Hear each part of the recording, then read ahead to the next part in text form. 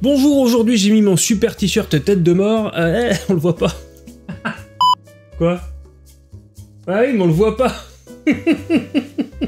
Faut que je me lève, mais du coup la chaise elle grince.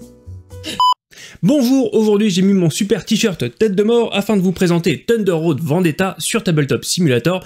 C'est parti Thunder Road Vendetta, c'est un jeu que j'étais curieux de vous présenter, curieux d'essayer. Euh, d'abord parce que c'est un jeu Restoration Game qui a pour habitude d'aller chercher des vieux concepts, des vieux jeux, et puis de les réadapter au goût du jour. Là, on est sur un, jeu de Thunder Road qui date de 86. Et puis parce que, contrairement à la plupart des jeux que je review, les, contrairement à la plupart des jeux que j'apprécie, euh, les règles tiennent sur un post-it littéralement, il y a très très peu de pages de règles. Et je me disais, est-ce que c'est possible qu'un jeu soit aussi fun comme euh, mes collègues américains euh, avaient l'air de dire, avec aussi peu de règles finalement, et, presque aussi peu de matériel aussi, sur un concept un petit peu daté? L'idée, c'est une course, euh, c'est très inspiré de Mad Max, donc euh, une course de véhicules, vous avez chacun trois véhicules, le but c'est d'arriver en vie et le premier au bout de la route, sachant qu'en fait les plateaux vont glisser, alors là je vais pas le faire pour ne pas casser mon, setup, mais quand vous arrivez, quand quelqu'un passe la, dernière tuile, et eh ben celle-ci est retournée, revient derrière, tout avance, et, euh, la route continue jusqu'à ce que vous bah, passiez la ligne d'arrivée. Là, on est sur un, setup classique à, deux joueurs, je vais vous montrer un petit peu de quoi il retourne.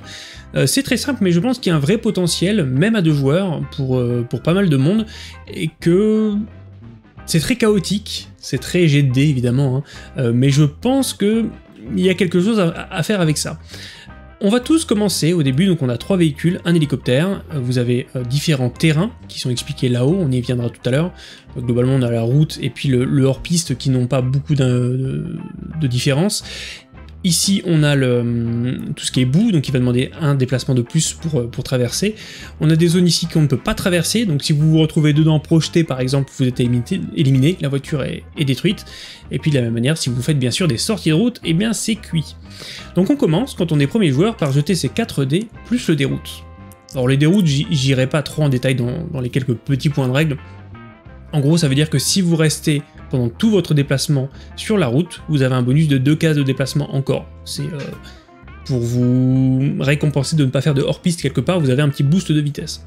Avec tous ces dés-là, chacun à notre tour, donc on peut le faire pour mon adversaire bleu ici aussi, il va jeter ses 4 dés, on va chacun à son tour en appliquer un à un de ses véhicules et éventuellement un sur un de ses pouvoirs. Donc là, si je mets un 6 sur ma petite buggy, ça veut dire qu'elle bougera de 6 cases, par exemple, évidemment. Euh, on peut être raisonnable et aller mettre un 3. Tout dépend aussi, bien sûr, des pouvoirs que vous voulez euh, appliquer pour ce tour.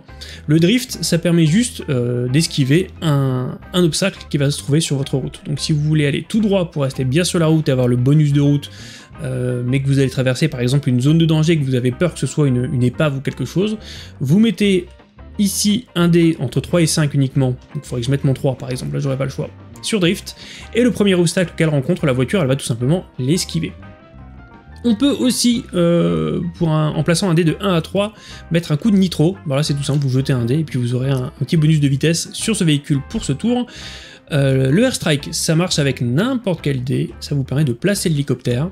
L'hélicoptère, il a deux fonctions vraiment. La première, ça va être de tirer sur les autres voitures, puisque bien sûr on va, se tirer dessus en plus de se rentrer dedans, et l'hélicoptère permet ça.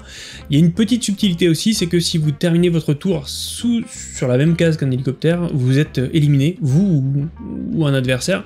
Donc vous pouvez aussi d'une certaine manière, à certains euh, goulots d'étranglement, verrouiller un petit peu les possibilités d'un adversaire. Et puis la quatrième action pour un 6, eh c'est de retirer euh, un token de dégâts sur les véhicules. Vous voyez que les véhicules peuvent en, en, en subir deux.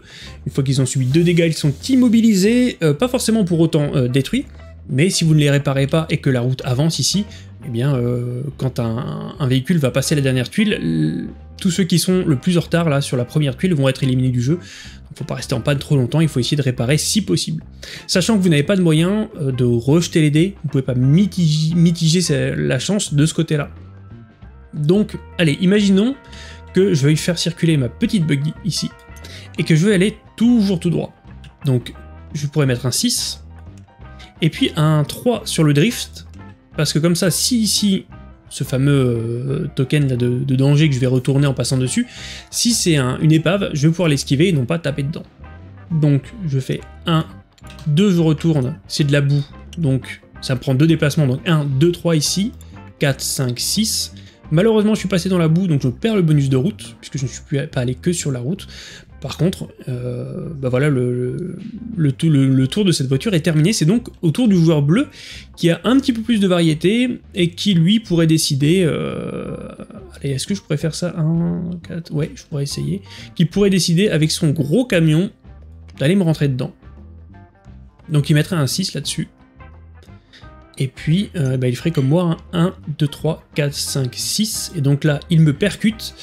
Et s'il me percute, il y a une règle particulière euh, qui va décider quel véhicule va subir euh, le choc et dans quelle direction il va aller. Donc ça, ça va jouer avec ces deux dés qui sont ici, vous allez jeter en même temps. Le premier dit quel véhicule dégage, donc là ce serait le mien, et il dégagerait vers l'arrière droit, donc en plus il partirait dans un, dans un token danger. Comme je suis le plus lourd des deux, parce que ça joue, je peux demander à rejeter ces dés. Parce que là je ferai manifestement en espérant au moins ne pas subir, si c'est quand même moi qui subis. Alors je subis, mais je pars devant lui, donc c'est pas plus mal. Et par contre, je ne prends pas de dégâts, ça ne va pas plus loin que ça. L'inconvénient, bien sûr, c'est que celui-là qui est à l'arrière va pouvoir me tirer dessus.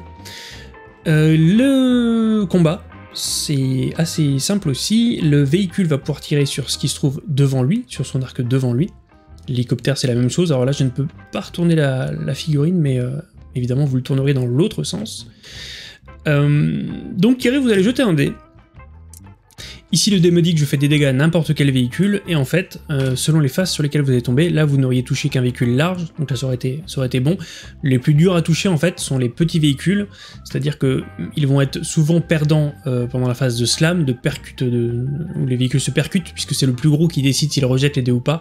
Par contre, il est gagnant sur les phases de combat, puisque les plus petits véhicules sont plus durs à toucher. Donc là, on est sur du Any, ça veut dire que, évidemment, mon véhicule blanc va toucher mon véhicule bleu.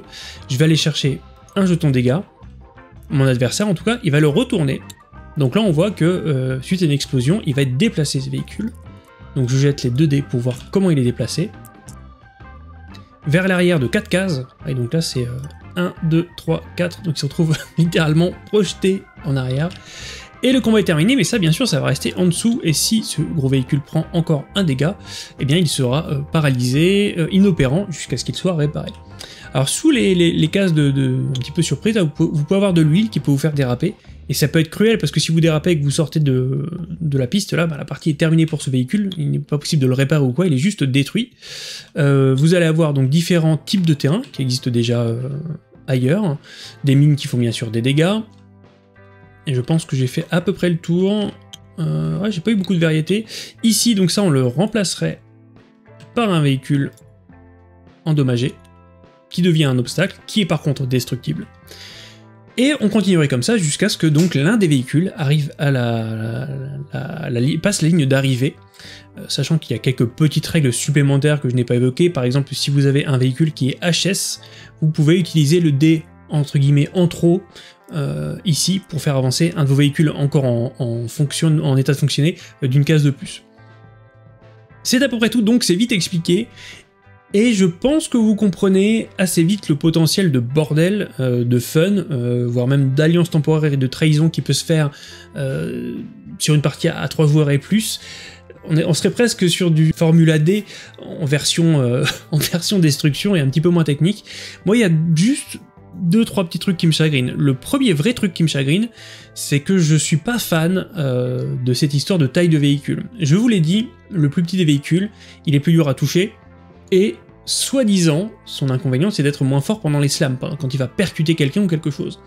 Le problème c'est que mon gros, ici, on l'a vu tout à l'heure, euh, lui qui est très facile à toucher, il est censé être super balèze quand il va slammer un petit véhicule, sauf que être super balèze ça veut juste dire rejeter les dés. Et sur bah, le dé le fameux dé qui détermine quel véhicule va être touché, euh, c'est jamais qu'une chance sur deux. Donc vous le rejetez, mais vous pouvez, retomber sur exactement la même chose, la direction a moins d'importance. En fait, vous n'avez aucune prise sur le résultat, juste vous rejetez une fois, et je trouve que c'est cher payé par rapport au fait d'être euh, une cible facile, une gigantesque vache sur la route. Euh, j'aurais peut-être préféré quelque chose qui serait allé du côté de la vitesse, qu'il aille un petit peu moins vite, quelque chose comme ça, ou vraiment le fait de pouvoir décider, euh, voilà, si ce, gros mastodonte va slammer la petite buggy, bah la petite buggy, buggy c'est elle qui dégage, point barre. ça, j'en suis pas fan du tout. Au-delà de ça, bah écoutez, euh, on alterne les tours, donc un dé chacun à son tour, on planifie pas tout d'un coup, ce qui veut dire qu'on peut quand même réagir à ce que fait l'adversaire. Euh, l'hélicoptère, comme on peut le poser où on veut quand on l'active, ça permet à quelqu'un qui serait en retard, ou en tout cas très loin de ses adversaires, de quand même avoir un, impact sur ce que eux vont tenter de faire. Et puis la variété des, tuiles proposées, que ce soit les tuiles de départ ou les tuiles en cours, en cours de route, font que je pense c'est un, projet qui là sur Kickstarter pourra valoir, euh, valoir le coup. Un projet qui est pas excessif en termes de coût non plus, parce que finalement tout ce que vous allez... Euh, le plus cher que vous aurez, ça va être peut-être les, petites miniatures ici. Donc, on est à, cheval entre le party game et quelque chose quand même d'assez adulte et d'assez... Euh, je sais pas si stratégique est le mot. Euh, voilà, un jeu de crasse, un jeu d'ambiance, mais malgré tout un vrai jeu qui, bah, auquel on a envie de rejouer, qui ne repose pas que sur le hasard, il y a une façon de gérer ces différents véhicules, auxquels on affecte quel dé, à quel moment on va essayer de, tenter de tirer sur l'adversaire ou pas. Il y a pas mal de choses à regarder, il y a un petit peu d'aléatoire avec non seulement les tuiles de route que vous sortirez au fur et à mesure, puisque vous aurez bien sûr une, pile dans laquelle aller chercher, les tuiles de dégâts bien sûr, enfin de, danger sur la route qui vont, qui vont évoluer. est-ce que je peux vous montrer là si j'avance, le fait de changer de plateau? Ouais, ok, bon. Euh, bah là, on, serait sur quelque chose d'assez serré d'ailleurs. Là, s'il y a plusieurs véhicules, je pense que ça deviendrait, euh, ça deviendrait assez périlleux. Ah ouais, d'accord, très périlleux même. Voilà, donc c'est de l'ambiance Mad Max, c'est du casse-gueule. Euh, juste retenez bien que vous ne mitigez pas du tout, du tout la chance, et que du coup, c'est peut-être que le jeu perd un peu en épaisseur. Le fait qu'on n'ait aucune prise sur ces jets de dés, même pas via un objet ou un pouvoir temporaire, et que même la règle de percuter pour moi, casse un peu l'ambiance du jeu parce que même le gros camion, en allant rentrer dans une buggy par l'arrière, bah, il peut se trouver euh, dégagé à l'avant en fait. Ce qui est pas réaliste, j'entends, mais euh, ce qui est même un petit peu injuste vis-à-vis de ce gros bazar qui finalement a plus d'inconvénients que d'avantages. Je pense que j'en ai fait le tour. Euh, je vous remercie d'avoir suivi ce jeu qui est donc actuellement en campagne au moment où vous regardez, où j'enregistre en tout cas cette vidéo. Je vous dis à très bientôt. Bon jeu, salut